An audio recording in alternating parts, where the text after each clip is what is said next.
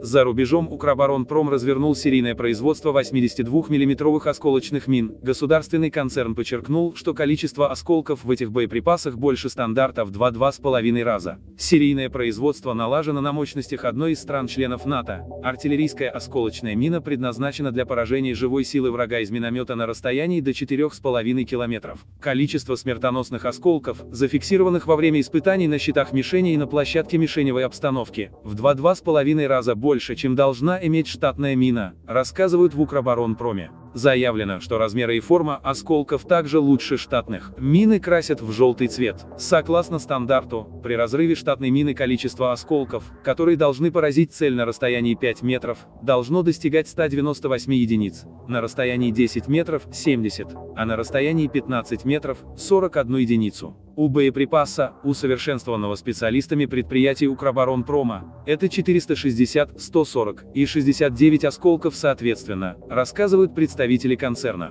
Также отметим, в ноябре 2022 года стало известно, что Укроборонпром и его предприятия наладили выпуск артиллерийских боеприпасов калибра 152 мм.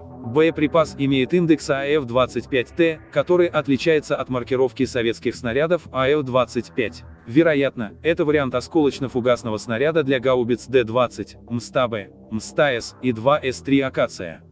Спасибо за просмотр. Слава Украине!